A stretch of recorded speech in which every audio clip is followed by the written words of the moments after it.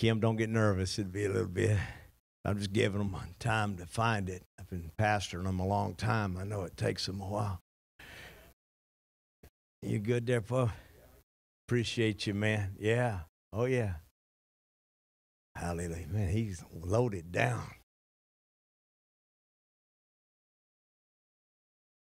I uh, I learned years ago as a pastor to be careful with my expectations. First off, as a husband, as a father of five, and my expectations of my children. Uh, I've, I've observed things as a pastor of church expect because I've lived when things were super exciting, so there was always this over expectations of things. And we're moving into 2024. And next week, I will talk to you a little bit about fasting, for particularly for those of you that have never done it. Matter of fact, I started fasting even this week.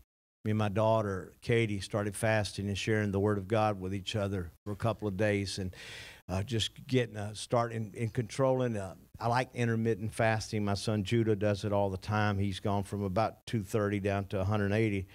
But he, he's, the thing is about health. It's not about losing weight. Just want to be healthy. So as I walk toward this year, I think about, okay, Lord, what am I going to do? Because oftentimes you guys, all of us will, will set an agenda for the year.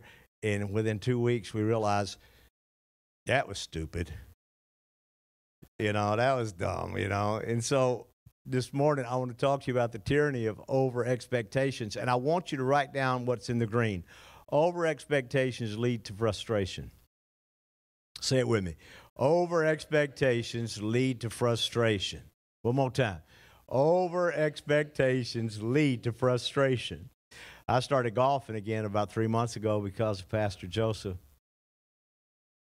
And uh, it's been 20 years since I've golfed, Leon, and I was fair back in the day, H. We played a lot. And I over expected. I thought, well, I, this ain't nothing. And we went out and uh, played this week, and I was with a young man. A, a father-in-law said to me, his this young man's father-in-law said, "I want you to take my son-in-law out and talk to him. You know, deal with him." I said, "All right." I invited him out like the guy, the father-in-law, man, he needs to get stuff together because this is a good dude. And uh, he was hitting a golf ball off the tee 280 yards. I'm about 180. But watching him a couple of holes, I thought, well, shoot, I can do that. man, I reared back and I hit that ball as hard as I could. It didn't go far. I didn't hit it as hard as I could. I missed it and uh, and my hamstring pulled. and and I mean, it felt like somebody shot me in the back end, in the buttocks, and uh, and I was walking awkwardly. As a matter of fact, I just became the chauffeur. I just drove the guy around. But had I been just you know golfing with, with Pastor Joseph and the guys I go with, I'd been all right. But watching him hit that ball that far just made me want to go. I can do it. I'm, I can do. I can't. As a matter of fact, after that, I couldn't even hit a wedge. I mean, it was over. I was I was putting in pain, you know. So uh, I, I learned real quickly. So I thought, what am I going to preach this week? And there it is, the tyranny. It's tyranny, man. You you know, at certain ages, you've got certain expectations of yourself, and you've got to learn how to live in your seasons. Can I get an amen? Amen. And for, in my life, I, have I've got you got to be careful because we go from one extreme to the other, and I've always been seeking balance in an unbalanced world, and there are few healthy people uh, that enjoy mediocrity. I don't like just being. Uh, in neutral all the time. Life has got to have challenges. We've got to take risks. We've got to press on. And it seems as each year passes, we begin to expect more of this year than last year. And I'm going to tell you, eventually that breaks down because we, as a, you know, we even do it with our kids. We we think, well, I want more for them than I had for myself. That may that's going to break down eventually because of our economy. It just happens that way. And of course, if you've got more than one child, always the last one gets more than the first one. You notice that? And the oldest one will tell you that. So don't get me wrong, I'm going to push to make this year better where last year was lacking, but the memories and the laughter of my yesteryears are fuel for my emotions. And I'm just believing God that as we move into this next year, that perhaps we get a little better, that things get uh, a little more exciting. There'll be more opportunities to make great memories. But the over expector, there are, and I will use that word, and, and even when I typed that word, my, my, uh, my computer underlined it and said, that ain't a word because I put them together. I see that my wife put a little hyphen there, but it's one word to me over expectors. People who expect too much from you. And you'll hear them say there's always room for improvement. There's an, there's an area or two that isn't quite up to snuff. It's always something to criticize, always. The over expector uses words like you should, you ought, love sentences that include must and more. And when you're around an over, over expector, you get the distinct impression that no matter how hard you've tried, you haven't measured up. And worse, you never will. Some people are married to overexpectors. Some people have parents who are overexpectors. Some, there are pastors who are overexpectors. Overexpectors don't say that, but they but the meaning oozes out of their frowns and their glares when they look at you. And sooner or later, your motivation is sapped as demands and expectations replace excitement with guilt and shame. The killer is when you realize you have become a weary slave of the impossible, somebody else's expectations. Fun fades. Laughter leaves. And what remains is the tyranny of the urgent, the uptight, the essential, the expected, always the expected, which being interpreted means if I keep trying this, I'll have a heart attack.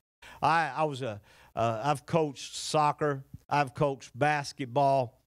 I've often pushed kids to, uh, but you've got to find out where they're at. Uh, Terry, I remember years ago I had a, Toby Cochran and Tony Cochran and Tommy Cochran and and, uh, and I had a, had a basketball team over in Channelview, Tommy, and we played against a, a, a, group over in Woodforest Baptist Church. I almost got in a fight with the youth pastor there. I was such a not an instigator, but a passionate guy about ball. I had two ball teams, and, and on Saturday morning we would play basketball against all the local uh, churches, which were normally Baptist churches, and uh, I would have to sober my guys. I had such a youth group. Oh my goodness. They'd be out on Friday night and they'd show up and they'd be, why are you sweating? Because they were drunk the whole night before. And you may laugh about that, but I love these guys and I was reaching for them and, and I was using basketball as a hook to get them to play. And, and we had so much fun. But I, I realized in their lives that some could do this and some couldn't.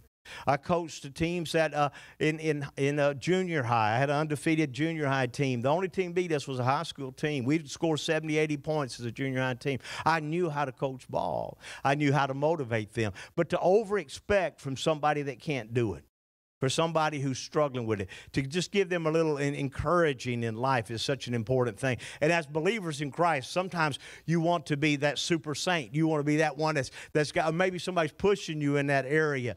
You know, I look at our band this morning. I walked in and first thing Josiah told me was, "We don't have a drummer." And you know what? I've just learned to calm down. I don't panic. I try to calm them down. Don't panic. Listen, this church is here to worship.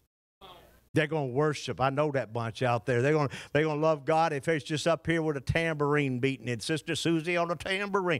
Amen. And I've, I've had great big bands and small bands. Either way, we're going to worship God. Can I get an amen?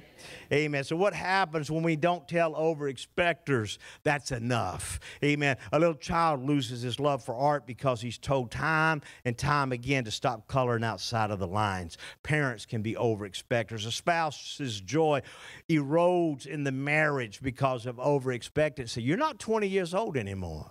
You're not 40 years old anymore. So you're not 60 years old anymore. You know, back in the day when you were in, married, maybe in your 20s, things were different. Now you're older. You can't expect everything like you did before. She doesn't bring you the remote as quick as she did. A high school athlete chooses to hang it up at midseason because he knows he'll never measure up. Coaches can be over expectors. And yes, congregations get tired of being beaten and bruised and with jabs and hooks and browbeaten with uppercuts from pulpits. Preachers can be over expectors and try to force people. You know, I want to see us. I, this is all I, all I ask for in our church is to to uh, worship, worship because He's worthy of our worship, and reach reach people. People need Jesus. Your neighbor needs Jesus. Schools need Jesus. Employees, employers need Jesus. Amen. You, you, the people you play ball with need Jesus. Amen. So I'm not telling you to just settle. Go for the next level. The Bible calls it line upon line, precept upon precept, from glory to glory. That's how life is. But it's hard to go from, from line to glory. You got you. This is how we do it. You'll often hear me use phrases like "one domino at a time." Amen. Life is about moving in increments and moving up. And if you can do that in life, eh, next thing you know, within one year, your life is going to be so much better. Can I get an amen? Jesus said this in Matthew 11, 28. Come to me, all you who are weary and burdened. You're carrying a burden. The burden's probably not for you. It's for a family member, a friend, someone you love, perhaps uh, someone far away, or a group of people, but you're burdened for them. You feel for them. It's more than empathy, it's sympathy. You, you tear up when you think about them. When I mentioned I've been to Africa, I know about the people there, and my heart broke when I read about Christians. I re- uh, my heart broke when I read about ISIS going and marking buildings where Christians lived so they could be annihilated. Just because you have a belief in God, a love for Jesus. Amen. How so I, I have a burden for that. So that's one reason I support my daughter who's going, you know, and I know she's reaching Muslim, Muslims need to be reached. Because if they're not reached, they won't change. Amen. It has to be a change there. So Jesus said, Come to me, all you who are weary and burdened. I'm going to give you rest. Take my yoke upon you and learn from me. For I'm gentle and humble in heart, and you will find rest for your souls. For my yoke is easy and my burden is light. Sometimes when you read the Bible, you'll read the word yoke and you say, What in the world is a yoke? See, I, I come from a tiller generation. Didn't have a tractor, we had a tiller and you got behind the tiller and you and it tilled the ground and you we had a garden. My dad would put a, a, a little thing down at the end little, that this is going to be a roll of peas and he'd put a little marker keep your eye on that. Don't take your eye off that. If you take your eye off that you're going to end up in the corn row. Amen. Stay in the pea row. Amen. So we'd pea row down through there and then i'd turn come back down to corn row. But before there was tillers there were uh, oxen and the oxen had yokes, and they were double yokes. You had a yoke on this end, a yoke on this end, and you put it on it. Now, there is a way to do it when you got a large oxen and a weak oxen. You put the tiller and you set it in such a way, you shorten it where the, the big oxen is carrying all the weight and the little oxen's just there for the ride. You follow where I'm going? So Jesus has harnessed himself to the short yoke Amen. So he can carry the load and all we are along for the ride. That's why he said, Hitch your wagon to me. Everybody follow the preacher now? Amen. That's what he's talking about here. And he said, For I'm gentle. I'm, I'm gentle. I'm, I'm not an over expector of you. I do expect something from you, but I'm not an over expector of you.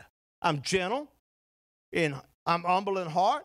You're going to find rest for your souls, for my yoke is easy, my burden is light. You know, that, that something we carry, amen, is always used metaphorically. It just is telling me that I, that I feel something on the inside is pressing on me. What he doesn't say, what Jesus doesn't say here, is come on, why are you weary? Why are you wore out? Why are you tired all the time? Amen. Take some Geritol. You young people ain't got no idea. You need rest. I ain't helping you. Jesus didn't say that. What he says here is you're going to enter into my rest. Now, Christ's rest is not a rest from work, but in work. God never called us to quit working. As a matter of fact, the answer to boredom is work. I've said it over and over. It's the answer to boredom. Do something, go to work. Amen. It's not the rest of inactivity, but the harmonious working of all the faculties and affections of will, heart, imagination, conscience, because each has found in God the idea sphere in its satisfaction of development is harmony. When I work with Jesus, I find out it's harmony. It just works together. It's like a good band. Everything's working together. Not one's overdoing the other. Everything's working in harmony. My spirit, my soul, my body, everything's there. So when I get with Him and He's carrying the load, I find a place in God. Things are working together. Now, they're all through Scripture. There's over expectations of the Pharisees. They put impossible task on people. Matthew 23 1, Jesus said to the crowds and to his disciples, The teachers of the law and the Pharisees, that was the local preachers, sit in Moses' seat.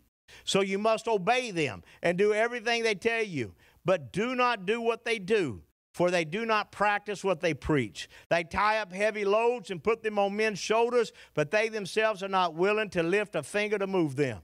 Woe unto any pastor that tells you to worship and they don't worship. Woe to any pastor that tells you to reach people and they don't reach people. Amen. I'm about worship. I'm about reaching. I'm about giving and fasting and praying. I'm not going to tell you to do something I don't do. But he said the Pharisees did it all the time. They would tell you how to live. They'd tell you not to carry things on the Sabbath. They would tell you different things about the yoke, and they would take the scriptures and use it against. And they're still doing it. They're still doing it over in the Middle East, telling people how to live. Amen. And yet they're not practicing it themselves. Luke 11, 45. One of the experts in the law answered him, Teacher, talking to Jesus, Teacher, when you say these things, you insult us. You hurt our feelings. I love Jesus. He didn't go, oh, I'm sorry. Did that hurt your feelings? Did that lick the red off your sucker? Did that slay your dragon? Did that knock the apples off your cart? I apologize. No. He said to them, when they said, You insult us, he said, And you experts in the law, woe to you because you load people down with burdens they can hardly carry, and you yourselves will not lift one finger to help them overexpector. All of us overachievers need big doses of Jesus counsel. Now that we've discussed overexpectation, let's talk a little bit about this new year coming up. Habits. Woo! Line upon line. See, life, we battle personal embarrassment to physical limitations.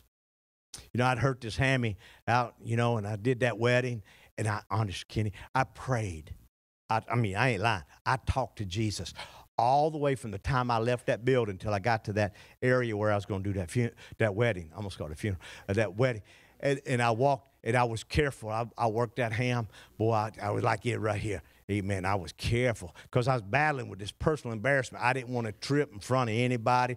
The cameras were on me. They had me set up for a camera. They had me set up for a mic. Everything was looking at the preacher. And boy, I was like a robot walking out there. I didn't want to embarrass because we all do that. We all get in this place it's just a little bit embarrassing, you know. And uh, and but when it was all over, my wife and I were walking away, and I tripped and stumbled carrying plates of food and tea. I just chunked the tea, caught myself on this side of the leg, and screamed like a baby. Can I tell the truth and shame the devil?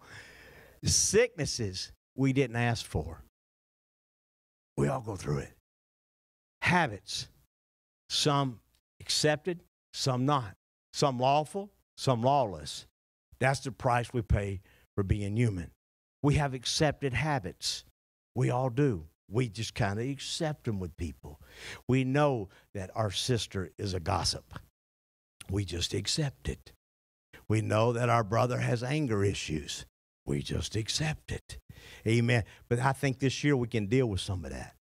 We have accepted habits of overeating, exaggerating, procrastinating. Some of us by habit are negative, suspicious, paranoid, resulting in habitual closed minded responses, habitually ungrateful, demanding, over expecting. Some feel trapped by overt dependence on alcohol, addiction to drugs, and, and lure of sensual lust or appeal for every ill, habits like gossip, worry, irritability, profanity, practice without, and here's the thing practice without guilt. We practice it without guilt. We're not even, we don't even feel guilty about profanity. We say words that should not exit our mouth. When I was I was out golfing a couple weeks ago, and I was, it's just me and one other guy, and we joined up with another guy, another two guys, and the guy's mouth was filthy. And so the guy that was with me said, "Pastor, you want me to tell him?" I said, "No, there's no need of it. No, no let me let me just play along a little while, and then we'll catch them." Amen. So they don't need to know I'm a preacher. Hallelujah. So right after a couple of holes, I looked over at my friend and Jesse, and I said, Jesse, you know the cop pulled me over. And Now these guys are into it because the cop pulled me over. And I said, and he looked over and he saw my my gun in, in my console, and I knew he saw my gun. And I said, when I uh, when I opened it up and pulled it out, the, the holster said, Pastor. It was amazing the difference that one word made for the rest of the time. It was as if Jesus showed up and walked with these guys everywhere we went. I heard oh shoots and gosh and darn and all kind of words like that. Amen. It just like they, they couldn't even say anything that was negative again. I thought, what? Well, just one word, pastor, and it affected them like that. I wasn't trying to change it, but it's amazing when you know we we do things without we just say it. Stop it. You don't need to curse like that. There's certain words that I know that are acceptable in Texas, but I'm telling you, there are certain words that aren't. And you shouldn't be saying them. You should never ask God to curse something, ever. Amen. That, that's it was funny. The guy said GD once, and my friend said, Yeah, he just cursed that drive, all right. Amen. Everything that guy did from then on went. It's like when he saw the word pastor, his game went to H E double toothpicks. We need the help of God. Amen. It's your problem. You deal with it. If you are expecting more this year, then go after it. But stop rationalizing. Oh, that's just me. I'm just like that. My dad cursed, I curse. My mama was angry, I get angry. This grandma was unforgiving, I'm unforgiving. Quit that. Uh, quit saying nobody's perfect. Such excuses take the edge off of disobedience and encourage you to ignore the Spirit of God. Apply a strategy. Get a strategy. And I often use people to help me with my strategy. You know, I, accountability with that. And, and, use a rifle, not a shotgun. And when I say that, in other words, oh, just pinpoint it. Don't just try to, you know, this year I'm going to quit cussing, quit drinking, going to quit this, going to quit that. I'm going to get my health right. Everything's going to be right. I'm going to fast three days a week. I'm to, no! You're going to hurt yourself. You're going to make everybody mad around you. You're going to eat, need to eat a Snickers. Pull it, decide. Okay, I just first I'm going to watch my mouth. Don't tell me you say it without thinking. Because you know you thought it before you said it. So watch your tongue. Bible says put a guard on your tongue. Watch that. What, what, what about other habits? You, you decide what it is you're going to deal with this year. If it's uh, in the area of entertainment, what is it you want to watch? What is it you're not going to watch? Be realistic. It won't happen fast. It won't be easy, nor will your resolve become permanent overnight. Periodic failures are still better than habitual slavery. slavery. Let me say it again. Periodic failures are still better than habitual slavery. I, have I've lost 30 pounds since June. June, July, August, September, October, November, December. 30 pounds. It wasn't overnight. I was this, this, this, this, this, this, working up and down, back and forth. But the issue is, I got to get the weight off for my legs. I ain't trying to look pretty for y'all. Them years are over. But I got to get the weight off, H, so I can keep moving and, and keep, because I got to run with these young bucks in the church. So I got to keep, got to stay healthier so I can do that. But it takes time. And then don't fall in love with your scales. I, I don't get on the scale every morning. I look at that scale and say, uh uh, not today, devil. I'll get on you when I feel light. And I sure don't get on you at night and then be encouraged. Amen. Enthusiasm strengthens self discipline and prompts an attitude of stick to itness. Hang out with encouraging people. People that encourage you to keep praying and fasting and giving and loving and, and forgiving and going on. And start today. Amen. Start today. Just start today. Just do little things today. But on November, uh, January the 9th, we start fasting. Now you say, Pastor, that's not a Sunday. I know. But we're going to pray about it on next Sunday. We're going to anoint ourselves with oil next Sunday. But then that Monday, there's football. You see what I'm doing here? I'm not over expecting. Now, you don't watch football, you start fasting on Monday. But I ain't going to start till Tuesday. I'm going to tell you the truth now. I am not going to, I've done this before. I'm just going, I'm going to skip a day and I'll start, and I can take from the 9th to the 31st of January and fast the rest of that month. Now, I won't take every day off from food, but I'll take off from, from a lot of, uh, I'll take food off from several days and I'll take I'll probably take a, a, caffeine off and I'll I'll take different things off out of my, my, my, life. You stop drinking sodas and think just decide what you want to do. But I, I don't do just because what the preacher's doing. Find out what it is you'd like to do. And then say, God, and then put the word of God in your life. Read more, memorize more, get into things. Take Proverbs. There's 31 chapters. Take a chapter a day. Go through it. Go through it in different translations. Uh, Katie and I were going through it, and we were laughing about it as the as the sloth hinges on on on on the bed. You know, he just hinges to it. He's stuck to it. He don't want to get out of bed.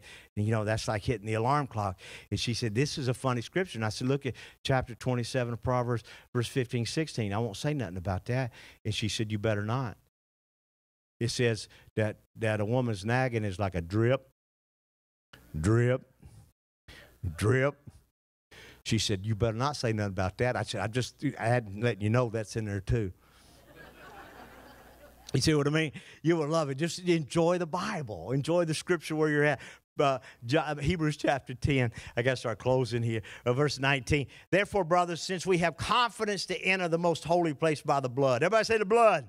Well, we took communion. It's by the blood of Jesus. It's the blood plus nothing by a new and living way open for us through the curtain. When that curtain tore, that is his body. And since we have a great high priest over the house of God, let us draw near to God with a sincere heart in full assurance of faith, having our hearts sprinkled to cleanse us from the guilty conscience and having our bodies washed with the pure water. And the water is the word of God. Let us hold unswervingly to the hope we profess. And he who promised is faithful. Now, catch this this, verse 24. And let us consider how we may spur, every cowboy understands that, how we may spur one another on toward love and good deeds. If there's any expectation we have, it's love and good deeds. And we keep doing this. Let us not give up meeting together. Keep coming to church. Keep going to the special meetings. Keep gathering with SWAP and, and, and Forge and all the uh, and all the groups that we've got in this house. Let us consider, even meeting together. Watch out. Why do we do that? Because of over expectations. We get together and encourage one another. As some are in the habit, people get in the habit. You can get in the habit of missing church. I said you can get in the habit of missing church. If you miss church three weeks, you just started a habit. If you come to church for three weeks, you just started a habit. It takes three weeks to form a habit, three weeks to break a habit. If I don't see you for three weeks, I'm going to have somebody get you.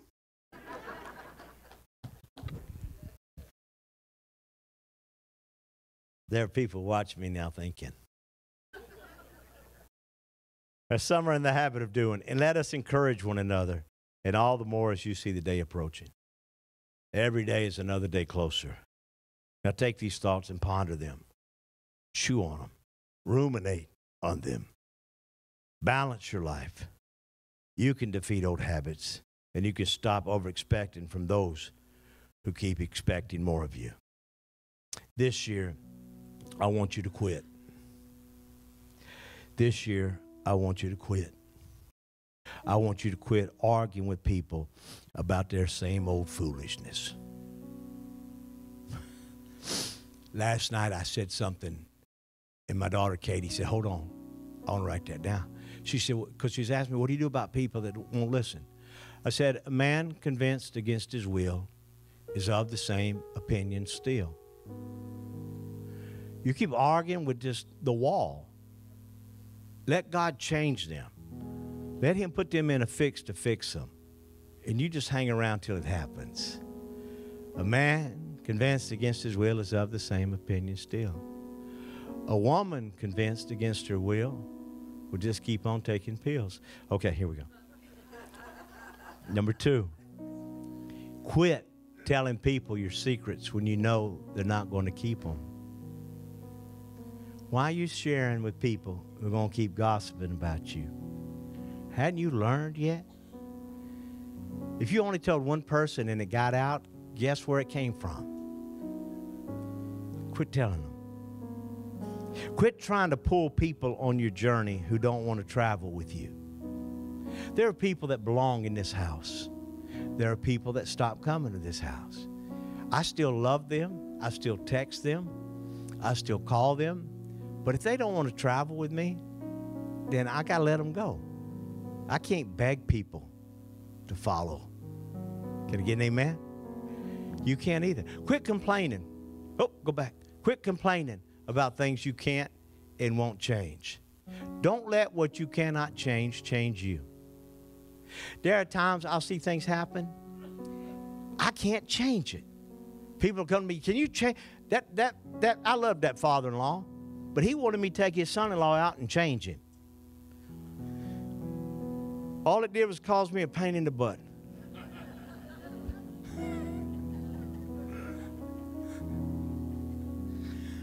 Don't let what you cannot change change you. It can't change it. I can't run. My foot's fused. I can't run. I can do a hop, but I can't run. I can do a, a quick 20 yard sprint. Not today. And that's it. The foot don't bend. So I can't let what I cannot change change me. Amen. But I can love watching somebody else run, do gymnastics. I got some friends that do gym. It just blows my mind how they do that. It just hmm. quit complaining or quit gossiping about other people. Minding our own business should be a full time job. You got business, you mind yours. Quit blaming each other for things that in the big picture aren't going to matter three weeks from now. It ain't going to matter. Talk solutions, then implement them. Quit eating things you know are not good for you. If you can't, start eating smaller portions. You know, I determined to make a bag of potato chips last me two weeks. It's so hard to find a 48 pound bag.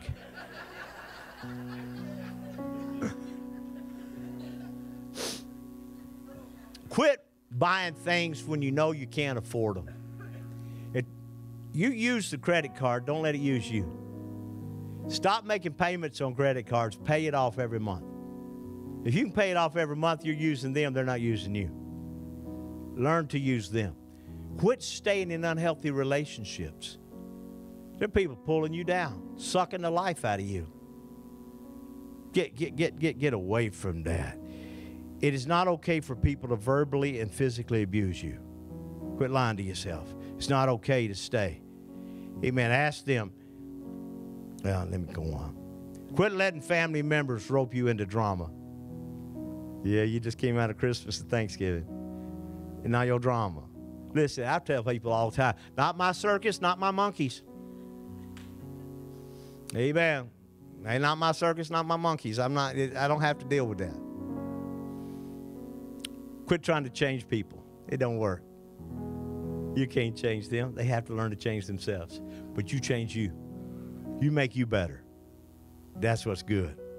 You know, I'm still working on this because I really see a world of possibilities for others, and I try to convince them to see and, want differently for themselves. But quit cussing people out when you know that they are just being the miserable and jealous people they are. Let it go.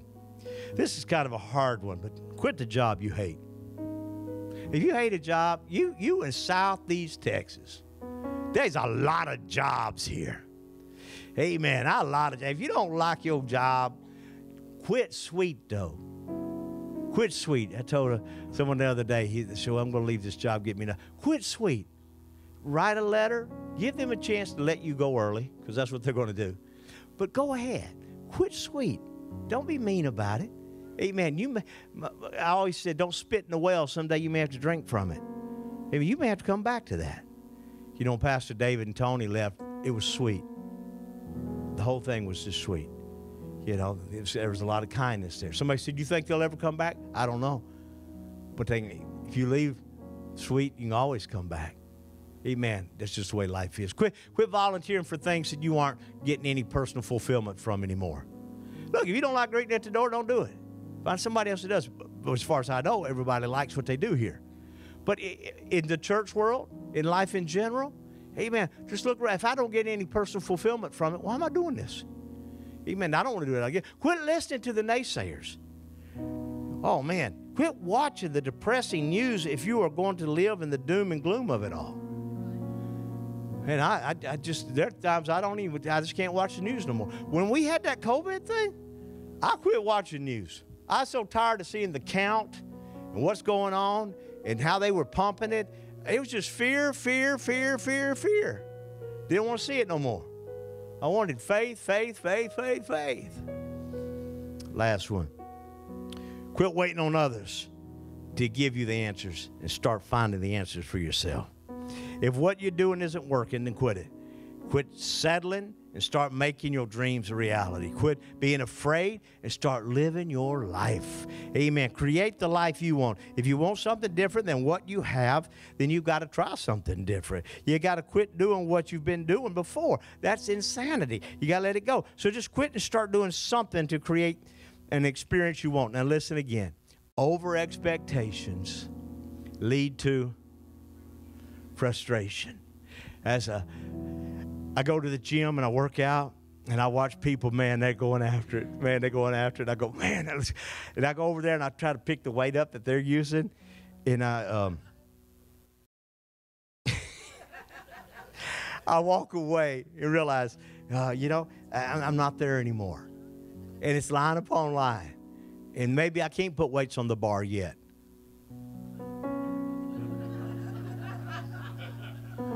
But nobody told me that bar was 40 pounds. 45. But give me time. Line upon line, precept upon precept. Amen. Let me pray for you, church. Father, I love everybody here. I know them by face, most by names. I thank you that this year we expect to move up just a little bit more. We refuse to allow people to condemn us for where we're at. I'm believing God for breaking of habits, pressing on into a, a better life with you. Jesus, you have adventures waiting for us. Help us to still be those risk takers and holy wild people. Bless this house in Jesus' name. Amen. Amen. Come on, give God praise in here.